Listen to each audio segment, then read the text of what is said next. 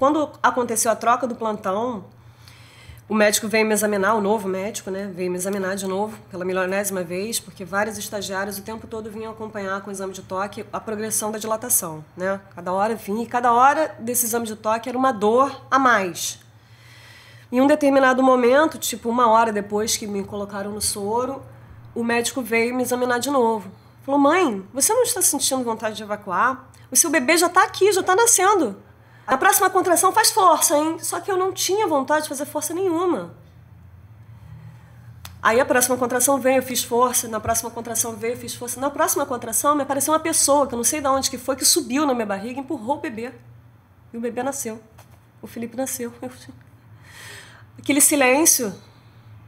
Pegaram o Felipe pelo. igual um frango.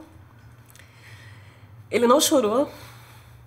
Aqueles momentos de silêncio assim deram um tabefinho nele, cortaram o cordão. Passou por isso, né? Aspiraram, limparam, colírio, embalaram. Depois trouxeram ele para mim enquanto a placenta saía e eu esperava para tomar. Olha, a gente vai ter que dar os pontos porque a gente fez uma episotomia. Episotomia? O que é isso? E foi.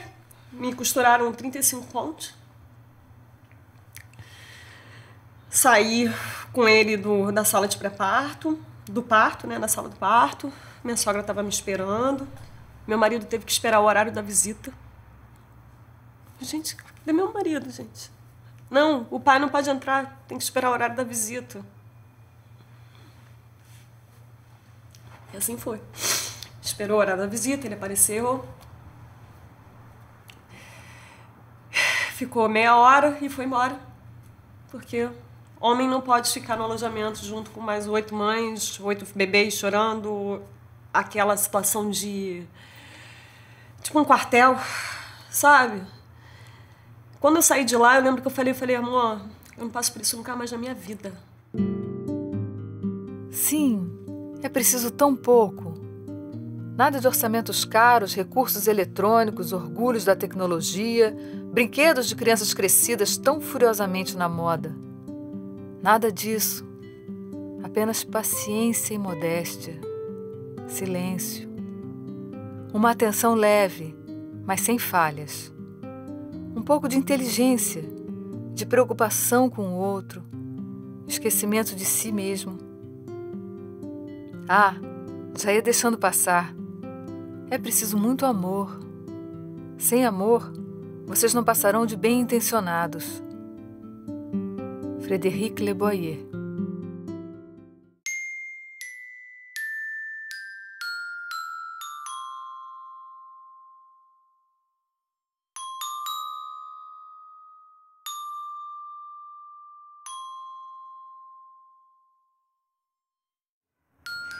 A questão de você permitir que a mulher tenha confiança no seu corpo, Confiança de que a natureza não daria para ela uma tarefa que ela não pudesse entregar, porque senão a raça humana estaria extinta.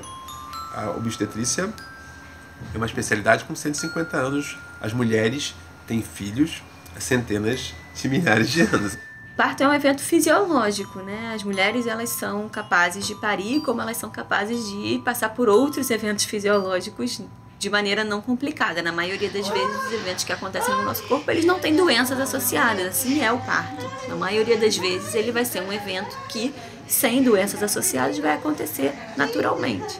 Ai, ai, filha, filha, nasceu, filha. Ai, filha, mamãe. Cada vez que se divulgam novas evidências, elas estão sempre corroborando o parto menos tecnológico, né? Quanto menos tecnológico, hoje em dia, mais científico. A gente está buscando é, intervir o mínimo para ter o mínimo de complicações desnecessárias, né? Advindas das intervenções. A história da mulher querer o parto normal ainda existe. Elas querem ter parto normal. Não são as mulheres que estão pedindo a cesariana. Nisso há um nítido descompasso entre o discurso médico de que são as mulheres que querem a cesariana e o discurso das mulheres. Agora é muito difícil. Se você passa o tempo todo durante um pré-natal ouvindo, é, pode ser, mas a gente só sabe na hora. Aí depois, não, mas olha, tem uma circular de cordão, é mais seguro, não vamos colocar a vida do teu bebê em risco. E aí, qual é a mãe que, em sã consciência, quer colocar a vida do seu bebê em risco? Se há uma autoridade, se há o poder médico lhe dizendo que existe um risco, ela cede. Todo mundo começa a gravidez assim, ah, eu quero parto normal. Aí, daqui a pouco, no meio da gravidez, eu tava assim, ah, não, a gente teve que marcar a cesárea. Aí começava a botar umas, umas, umas argumentos que eu ficava assim, nossa, meu avô era obstetra, ele trabalhou mais de 30 anos na Carmela Dutra, então é, eu lembro que ele relatava muito o dia a dia dele. Então, muita coisa que hoje em dia é tabu, as pessoas inventam que ah, isso é motivo para cesárea. Eu via meu avô assistir esses partos a vida inteira. Então, eu ficava assim, estranho vocês falarem isso de circular, porque meu avô falou que mais ou menos metade dos bebês nasciam com cordão enrolado em algum lugar do corpo e mais de uma volta. Ou então, ah, não, foi cesárea porque o bebê estava sentado. Aí eu, parto pélvico? Meu avô fazia. Eu falei, o meu avô era um super-homem ou não se está aprendendo mais obstetrícia na faculdade de medicina. Então eu comecei a pesquisar sobre o que seriam esses mitos e tudo mais. Aí eu vi que nosso país está vivendo uma epidemia de cesáreas, assim, muito mal indicadas, as pessoas estão se informando mal. E acabou que o parto normal se tornou algo quase que herege, né? Então você chega assim, ah, eu quero ter parto normal. Corajosa? Eu falei, corajosa? Por quê? Ah, porque a cesárea é muito melhor. Eu falei assim, uma cirurgia, sete camadas, abrir você toda, puxar seu filho para fora sem ele estar tá pronto.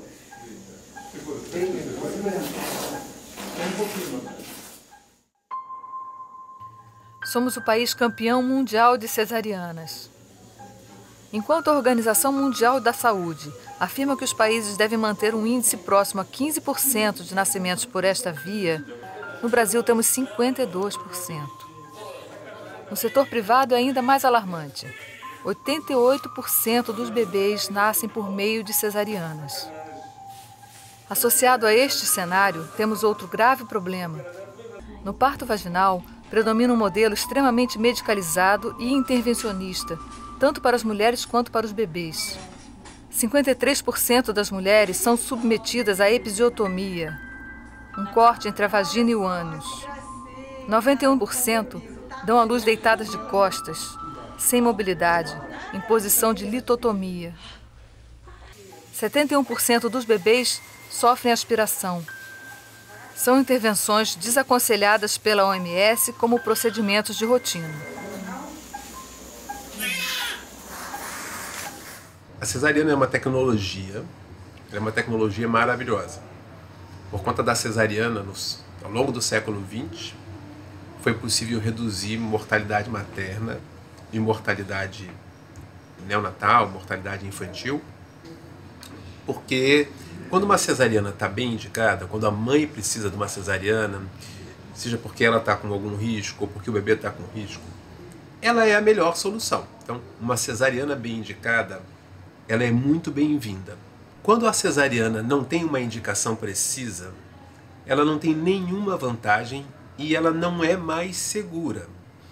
Então a gente tem muitos estudos, muito, a gente tem muita evidência científica inquestionável sobre os riscos da cesariana para a mulher durante a cesariana, em gestações futuras e para o bebê. Eu não nego o direito de uma mulher, desde que devidamente informada, esclarecida, orientada, escolher uma cesariana.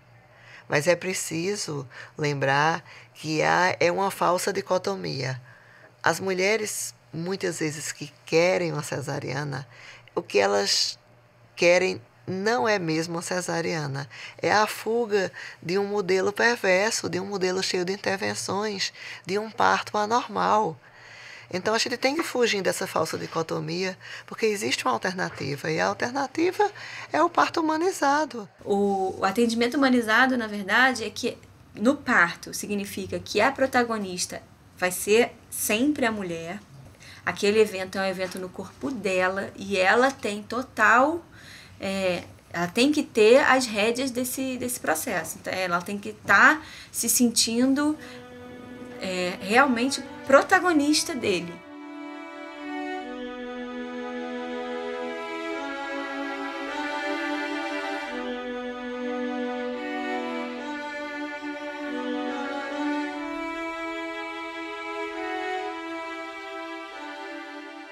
The policy in the United Kingdom for many years has been woman centered care.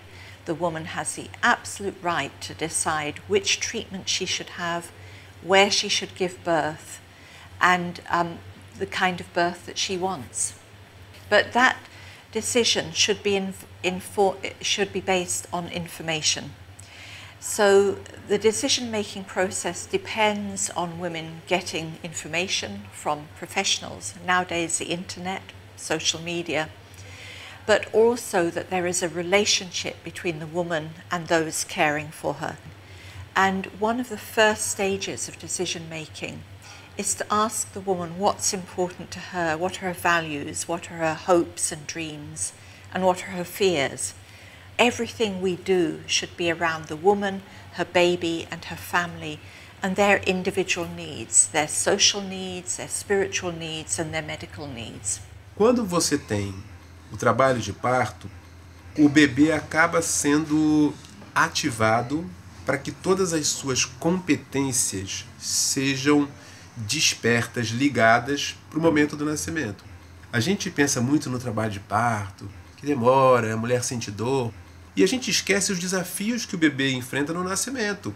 O bebê na barriga da mãe não precisa respirar, ele vai precisar respirar do lado de fora.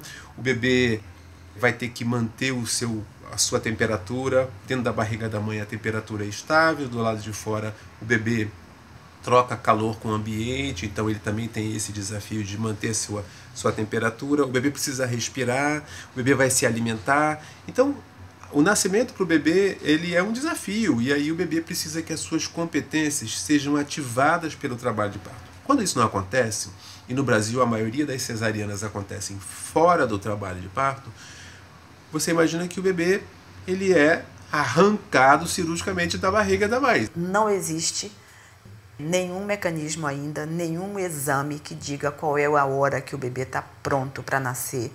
Na medida em que um bebê pode nascer com 37 semanas, porque ele ficou pronto, ou ele pode ir até 41 a 42 semanas, e essa diferença é muito grande. Então, se você tira um bebê com 37 semanas e ele fosse precisar de 42, você está tirando um bebê imaturo, quase um prematuro. E ele tem dificuldade de respirar, ele vai para UTI.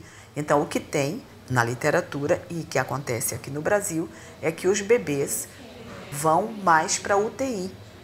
Isso é uma coisa de um prejuízo enorme, porque é um bebê saudável que ia nascer ótimo e ia ficar no colo da mãe, vai ficar sozinho, sofrendo no aparelho. Então, isso é incomensurável, isso. Eu fui em 18. Fui em 18 médicos do Eu fui em todos do, dos conveniados.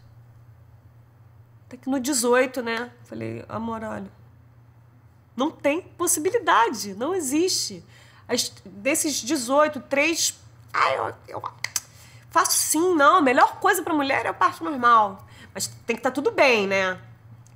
Sempre tem um mais, sabe? E os outros 15 foram enfáticos. Não, não faço. Não, não faço. Não, que. E, um, e, e desses 15, alguns queriam me convencer que era a melhor opção a cesariana. Isso é muito absurdo, é, é, é, chega a ser surreal, sabe? A gente, você vai, se consulta com um profissional, o profissional fala que não é nada disso. Olha, não, minha filha, isso aí não existe mais, não, não existe mais. Esse momento do, do trabalho de parto é um momento, cara, de uma conexão tão incrível com o seu corpo, com o seu bebê, sabe?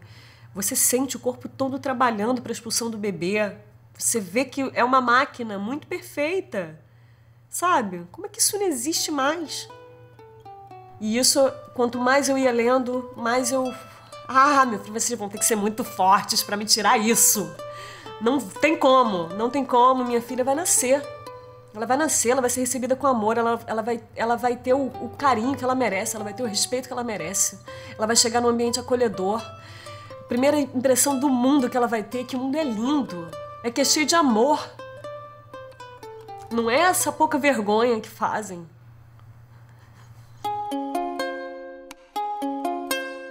Para um, um sistema como é a nossa tecnocracia, de que tudo funciona em linha de produção, o parto normal, essa coisa natural, fica parecendo completamente absurda, né? Então é, é, é contraproducente.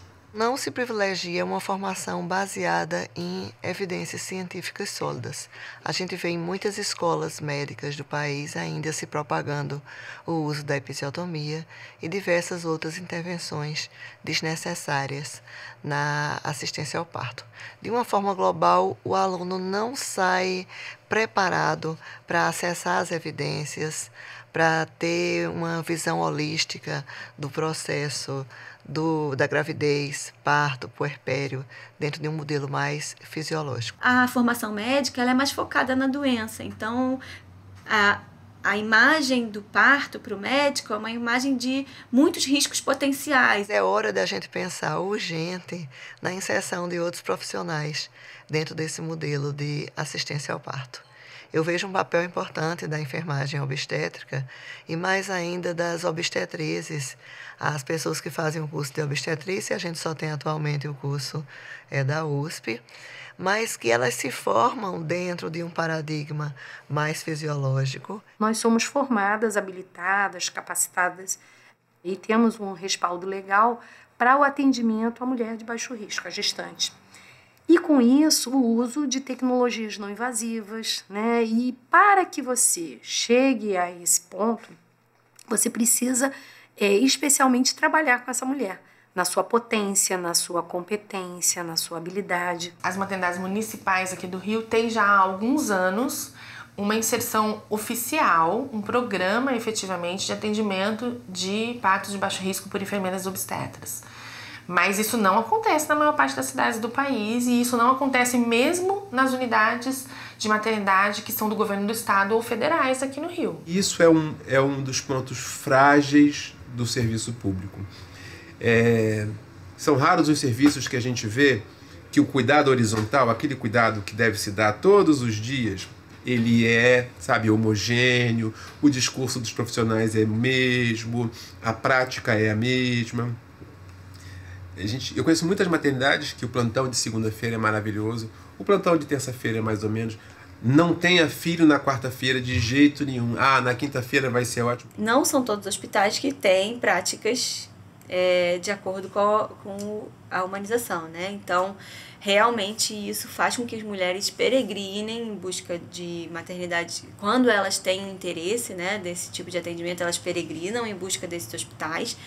Aqui no Rio de Janeiro a gente tem algumas maternidades e de, de referência quando se fala de humanização. A gente tem um atendimento, inclusive, de muitas mulheres usuárias de plano de saúde e que, como através do plano de saúde elas não conseguem um atendimento médico para o parto vaginal, elas abrem mão do atendimento privado que elas teriam direito pelo plano e buscam o atendimento público, porque nesse atendimento elas têm a certeza de, de uma assistência humanizada.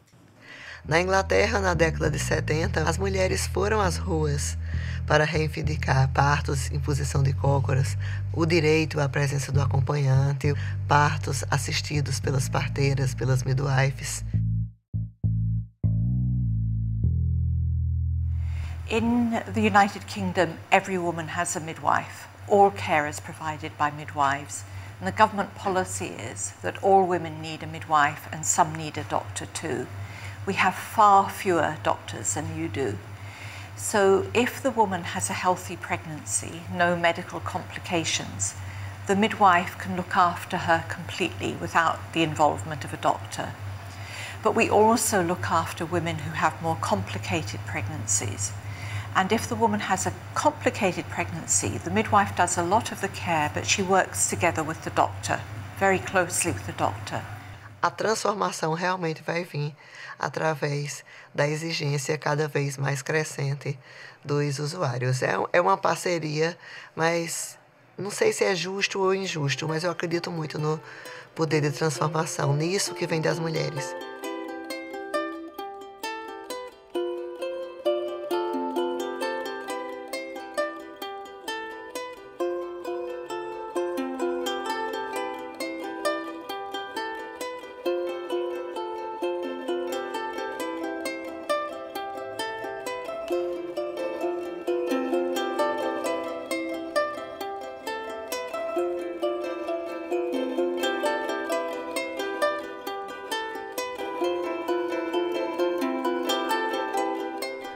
História inteira sempre foram mulheres apoiando mulheres e, e dando aquele suporte para é, que o parto acontecesse com carinho. E o que a gente tem mais próximo dessa grande família que as mulheres tinham naquela época, né, anos atrás, o mais próximo disso que a gente tem hoje é, é isso aqui.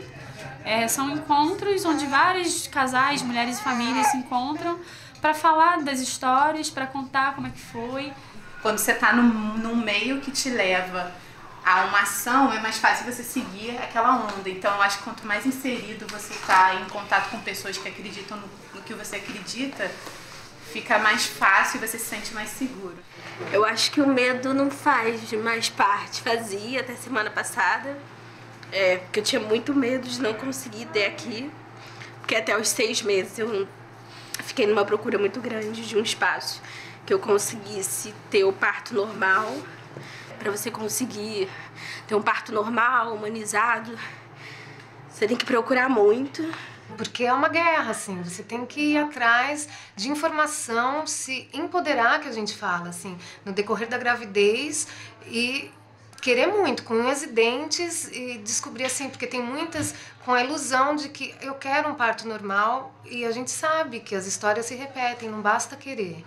É uma luta. Por que, que eu não posso ter voz na escolha do que vai ser o meu parto, da minha filha, o meu corpo, né? O parto é normal, é natural é um ato fisiológico. A mulher é capaz disso.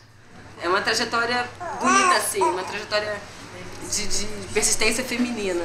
Foi, foi muito gostoso passar por isso, essa transformação. E eu, sinceramente, achei que não fosse conseguir. Consegui. Bem-vindo, meu novo ser, cercado de proteção, de tanto amor,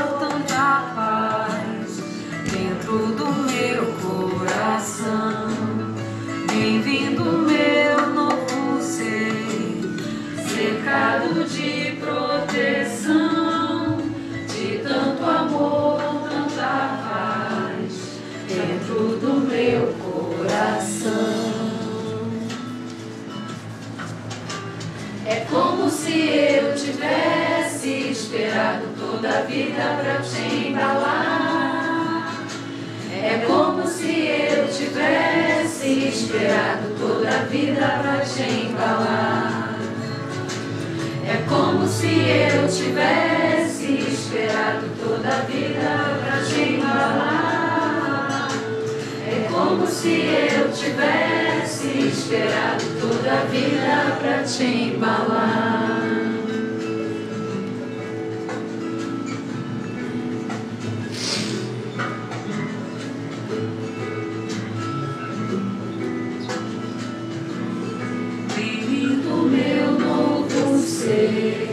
cercado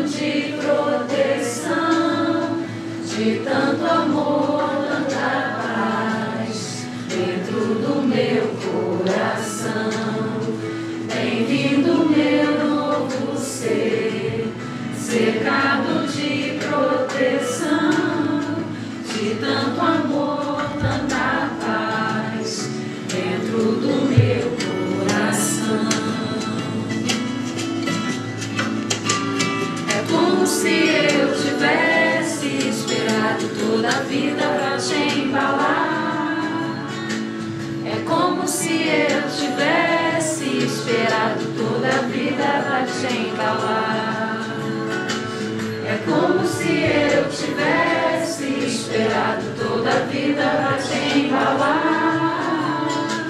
É como se eu tivesse esperado toda a vida pra te embalar.